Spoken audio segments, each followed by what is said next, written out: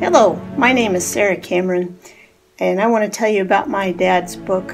It's called Missions of War by Robert J. Brodersen.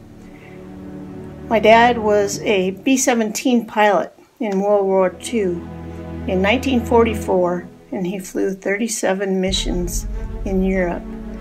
Um, we didn't even know my dad kept notes or wrote a book until 1980 when he had somebody type it up and he gave them to us for Christmas, and we were just amazed at the story.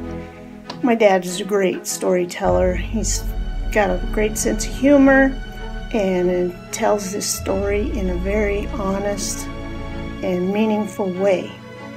Um, I know that most people are proud of their parents. Um, we are just extremely proud of ours, especially Dad writing this book.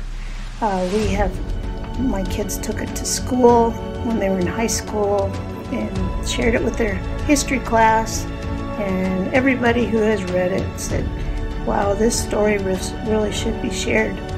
Well, I'm finally getting around to getting it published and trying to share it with a lot of people because it, it just it's just a good lesson in why we all have some a story to tell and should share our stories eh, with our families, our kids, and it's just another way to be a proud American. Thank you.